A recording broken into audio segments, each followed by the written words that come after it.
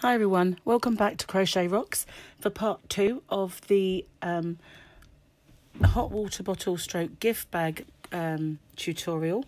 Um, this is the one that I've been making so far and we got up to the end of the red part and we're going to be making now, I'm going to be showing you how to do the white and the decoration. So this is the smaller one that I made and with this one I just did a running stitch with a darning needle in a gold thread to make the buckle and with this one I put my uh, my hook through the yarn and I did a chain stitch all the way round into a square. It's actually easier to keep the square if you're doing the running stitch but it's not as bold. But you could go over it in a couple of times. So it is completely up to you how you want to make this buckle. it would probably be easier with the running stitch. But for that, I'm using this gold yarn from um, a shop in the UK called B&M. But any gold or orange, red, sorry, yellow, any kind of colour to make a buckle would be fine. Or you can actually buy a little plastic buckle, buckle and sew it on. Um, I'm also going to be using this Robin Fleece yarn, uh, yarn for the top. Um, now, with this particular one, I did my tie just by using um, a, a, a kind of a chain stitch and I did I think it was 90 chain and that's fine to just tighten it up and to tie it off. With the small one I did it in the chunky in black but you can either use um, a chunky yarn, make a, a, a cord or you can use ribbon. You can use anything you want really to, to make that cord but um, I just used a super long chain. So we're going to use um, the black chunky that we made this part with. So that's just the usual same chunky yarn. That's going to make the buttons. You can either do the tie in that or in the red that's left over. I've got a glitzy uh, black uh, yarn as well, which you could make the buttons with the glitz yarn.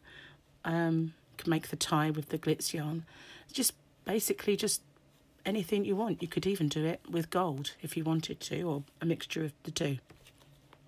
So um, really the choice is yours, but it's just a cord, so um, you can, you'll be free to sort of choose whatever you want to do with that. So here's the one that we've made earlier. Here, this is the hot water bottle. We'll move that out of the way. Sorry, I've still got a very croaky voice, um, but I'm, I know that I really do need to get these tutorials now done. So uh, please excuse my croakiness. Um, so with this particular one, I made it a little bit different to this.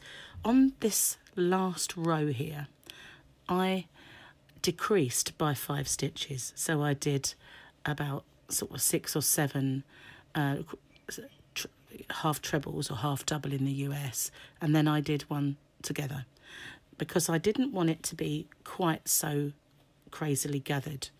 But you don't have to do that. And in fact, this is much thicker than than that yarn. So if you didn't want to do that, you could just maybe go in, um, don't go in every stitch because this is ultra thick. So you don't need to if you don't, if you don't really want it to bulge out too much. It's just a case of, you know, working it up and seeing if you how you like the look of it. If you think it looks like it's just too bulky, then you can thin it down a little bit because this fleece yarn, although it is a chunky, is um, quite it's quite more bulky really than the normal chunky yarn. So I'm going to pause the video, get what I need and um, start the tutorial.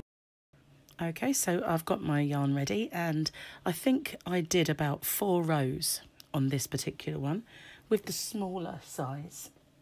I think I did um, I did four on this, but you could have done three, would have been fine. So um, just going to join it and it really doesn't matter where you join it but I'm going to just join it at the side um, where I left off. And I'm using the same six millimeter crochet hook that I used for the whole of this project. And I'm just going to make the join. And for the first I just used both ends for the first chain. And that secures that yarn. And now I'm going to work over that tail. And I'm just going to go in each stitch and do the half treble crochet which is a half double in the US so the same stitch that we used throughout the whole project. So I'm just going to gauge how chunky this looks because it will be fatter. I think it'll be fine. I don't think we need to decrease at all. The decreases that I made were in the previous one were in these rows here. So if you find that it, you need it to pull in slightly, you can do that. But obviously not too much if you're getting a hot water bottle into it. If you're using it as a gift bag, you might not want it to be quite so bulky at the top. It's really just your preference. So basically we just go all the way round doing the half treble or half double US and working over our tail and go all the way around until we get back to here. So I'm going to pause the video and I will pick you up again when I get back to the start. Okay, so I've got all the way back to the start. So I'm going to slip stitch into there and do a chain and again go around in every stitch. Now it's easy to feel where you were up to and um, a lot of people think it's hard to work with fleece or this eyelash yarn and stuff like that. I find it very easy because you can just any mistakes you make are pretty unforgiving. Uh, sorry, pretty forgiving because you can't really see them, and um, you can just feel and see roughly where your stitches are. So you see you've gone in that one, another one there. So just go round for four rows uh, just repeat this for four rows and um, just check it after three, maybe three rows might be sufficient. All you have to do basically is to put in the hot water bottle, slide it in, and you can see if it actually comes up to the top part.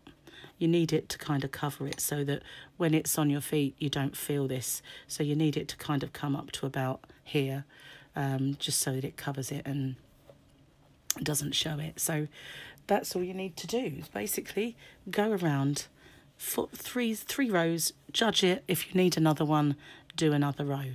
Um, but you just go and slip stitch into this one and carry on until your top uh, snowy part is tall enough um, for your hot water bottle. So I'm going to pause the video and I will pick you up again when I've completed my white part. Okay, so I've done my four rows. So what I'm going to do is pop in the hot water bottle and make sure it goes all the way to the bottom. And there it is, nice and covered. So if I pull this in, it's still covering that end. So that's fine. it's long enough. So take it out. Get my scissors. And just going to end off this white colour. I'm going to leave a very long tail to sew it in. I always like a long, long tail. So many times in the past I've left short ones only to live to regret that. so now you just need to decide how you're going to make the buckle. Um, if you can do a chain stitch with like an embroidered chain stitch, that would work. Running stitch or by um, working through the um, hot water bottle, you can just kind of judge it. I'll show you how I did that. So I'll start anywhere and I'll just pop uh, my hook in and grab some yarn. It's probably not going to be easy to show you. It's easier to do it than it is to show you. So, sorry, I was uh, interrupted there by a phone call. I hope it didn't. Um, I'm not sure what it might have done to my phone, but I guess I'll find out on the replay. So, it's a bit tricky to get the first one to come through. There we go. And um, after that, I'll drop that yarn and just hold the tail. And it's just a case of putting your hook in and feeling to take your yarn over and come back through like this. And you just keep doing that in a straight line until you have it the size you want. But I'm not going to do it that way with this particular one, but that's how I did, did it anyway. Um, I got both um, both strands there, so that might not have been a good idea. Let's take that out. Just one will do. So there we are. I just make sure I've got the long one, not the short one. I was going to do, do a running stitch on this particular one, but you know, this is actually a nice way to do it, so I might carry on. I was going to do it for quickness, because otherwise it would be a didn't want it to be a too long a tutorial. So you just carry on like that. It's easier when you're holding it yourself, but because I'm showing you, um, I'm holding it in a very strange way. But that's basically how you do it. Just go, you're kind of chaining through the fabric and making sure that you're going in a straight line. But it's hard to do when you're doing it on a tutorial. So then you just kind of judge it. Excuse me. So you want, you've got one, two, three, four, five, six, seven, eight, nine holes that side. So you count the holes this side. And you've one, two, three, four, five, six, seven, eight, nine. You kind of just want to end there. So we need to do another one, two, three. Let's just count that this side. Five, six, seven, eight, nine. Yep, so we're in the neck. Are we in the ninth? Yeah. So we're doing, going to do three more and then have a look at it and then we'll just make sure hang on it didn't go quite according to plan did it went round the loop twice it's really difficult when you're holding it like this when you can pick it up and hold it properly it's easier but trying to do it in front of the camera is difficult so there we are that's the three so if we look we just make sure that that's the same. One, two, three, four, five, six, seven, eight. Nope, we need to take one off. So that's the whole point of judging. Okay, so now we just need to change direction. Keep the stitch open. Hand in. And now we'll go down. So we're in this line and it's a bit awkward because this is the problem with doing it this way. It, obviously the stitches are in between. So it's not always simple to keep it a perfectly straight line. But once we've got our line, excuse me, I've got a cold and I'm trying not to sound too bad. So yeah, we keep going all the way down. So we're in this line. We go down here and pull it through. It's very difficult from this angle. And you just keep going until you've, you're in your third row. So you'll be here. Carry on and then you go along and then you come back up. So it's as simple as that. And because it's difficult to show you on camera, I'm going to pause the video while I finish my square and I will see you when back at the start. So that's um, how you keep it uh, nice and straight all the way down. So we're into our third row. Now we're going to go across here and up here. But I just wanted to show you that um, it, it, you can keep a straight line.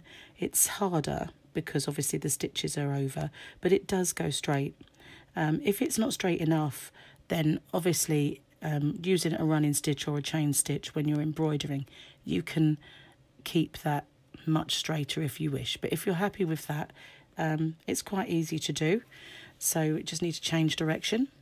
It's easier off of camera, obviously, so I'm going to uh, pause the video and I will meet you back at the start, as I said. So I've got all the way around, and like I said, if you wanted to make sure that it's much more square, then you can run, do a running stitch. But I just wanted to show you how I end off. So you, you obviously end with just a loop there. You take your hook inside and you go through into this here you can grab your loop and pull it through. And then when you sew in your end um, you can make sure that it's attached nicely. So that's basically how we make the buckle. Um, it was a little um, little harder to show you um, than it is to do. So I'm going to leave a nice long thread there and end off and I'm going to when I sew in my ends I'm going to just clean that little part there up. So now I'm going to do a button for the top and a button for the bottom. And to do that I'm going to be using the black. That is nice and easy. Excuse me. Now you can use if you wanted to um, this shiny black which is a DK weight. So you get a nice small flatter button. But because you're doing that you need to use a smaller hook. So I'm going to use a not that one. Sorry. Pause the video while I unfortunately they're all the same colour. That's why it's hard to see them but I've got a four millimeter hook and I'm using this sparkly and for this, I'm going to use a magic loop.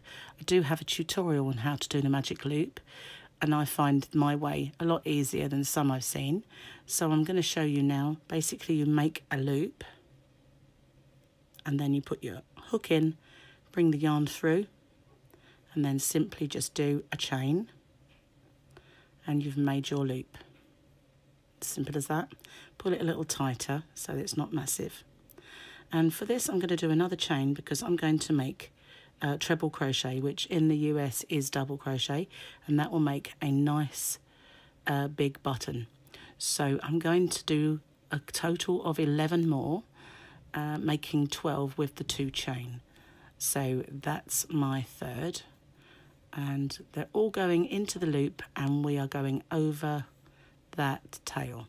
So I'm going to pause the video while I continue until I've got my 12 including those two chain.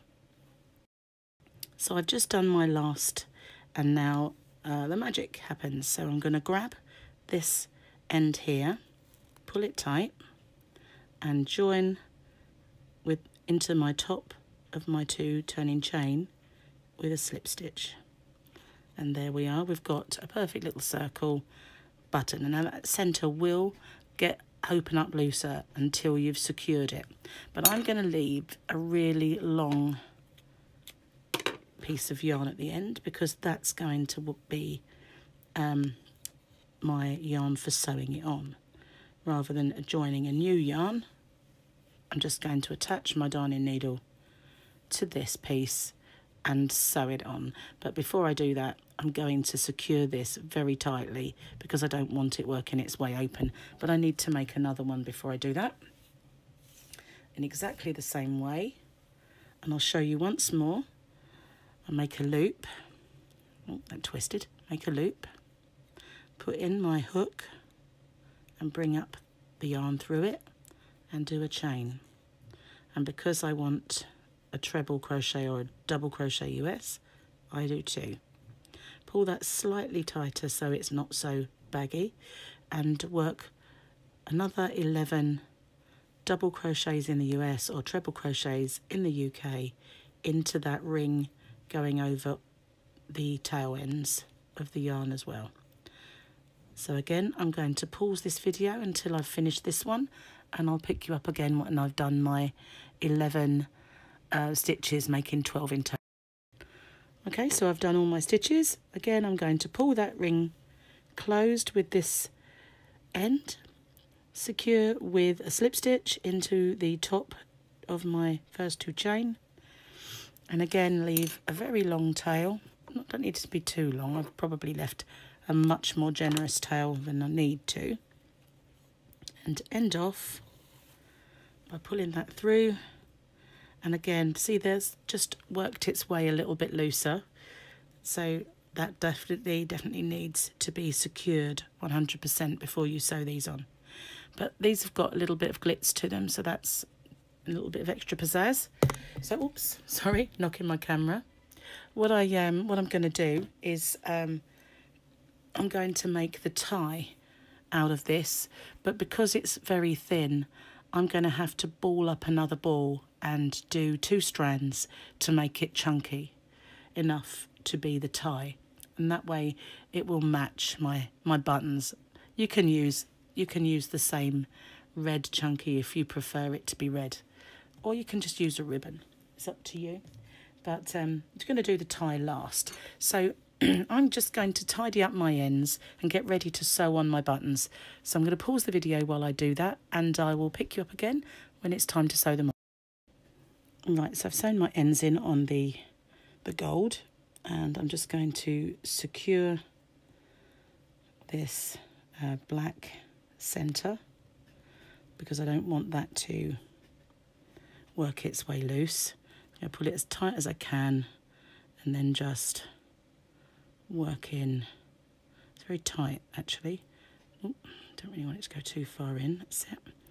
And what I do normally is catch that yarn to make a loop, like a little knot. So that should be very secure now. So I can just weave in, weave in these through that centre, through that centre where there's lots of trebles. Double crochet in the US terms. Just weave it through them so it's not coming out. I think it's actually pretty safe now. And cut off my yarn. Doesn't matter if it's a little tiny bit showing because it's on the inside. So now all that I have to do is secure the button by sewing it on with the darning needle, which I'll just thread my needle off camera because I find it easier to see it and push it in. I do struggle with needles. Um, sometimes um, yeah, I find a needle and I think that's got a lovely big eye and then I can't thread it when I get it. So just kind of place it where you're going to want it. Say maybe there, perhaps there because we need to make sure that that one is about the same distance. So maybe, maybe there. I did on my other one do them both at the bottom, but this one I did more. Um, so yeah, going to put it about there. And so keeping one hand on the inside, just going to do a kind of row of stitches all the way around to secure it. Trying to keep it nice and central all the time. Probably should keep my hand in there really. Otherwise I'm going to sew it together. I mean, I've done that before. I bet we've all made those kind of mistakes. I'm going to have to do it through the, just do it like this because it's hard to get the direction. But I'm sure you have, you know how to do that. Just a row of stitching all the way around um, to secure it. And the same with this one. Make sure that this one is completely tightened off before you end it and then sew it above. So I'm going to pause the video and um, I will catch back up with you once I've secured my buttons. So there we have, buttons are both sewn on and the buckles on. Um, I'm not particularly happy about that little bit there, but I'm going to tidy that up with a bit of gold thread. And all that I need to do now is to make this uh, tie. And to do that, I'm actually just going to do it in the red now, I've decided, because I can't, um, don't really have a great deal of um, that black yarn and I wanted to make something else with it, so I'm not going to use it all up making a tie. So I think it looks nicer in red than it does in black. So I'm just going to make 90 chain, quite simple chain, and then thread it through and tie it up. So I'm going to pause the video while I complete my 90 chain. Alright, so I've done my chain, just going to end them off. And now all I need to do is to thread that in and out of these holes, pop in my hot water bottle and secure it. So you can either use, um, I need to sew in my white fluffy tail, So you can either or make it like this with your stripe up the top for your belt and the two buttons at the bottom or one at the top, one at the bottom as I've done here or with the small one I'm going to make just uh, a couple of smaller buttons with um, small um, double crochet in the UK terms which is a single crochet in the US um, because they're smaller. So I'm just going to do a tiny button. But you can use these as um, gift bags if you wanted to rather than hot water bottle covers. Make a nice little gift bag. Um, so that's that. That's how we do it. And uh, thanks for watching. If you haven't already please hit the subscribe button and click on the notification bell and you'll be informed when there are new videos. And I've got lots of tutorials coming out. Um, I've got a Christmas stocking very very soon made with the same stitch. Uh, so it's nice and tight. Um, I don't like things that are too holey. So watch out for that one coming and some fingerless mittens as well. There's quite a few pairs that I've designed that I'm going to be doing some tutorials for. So thanks for watching everyone. Until next time, bye bye for now.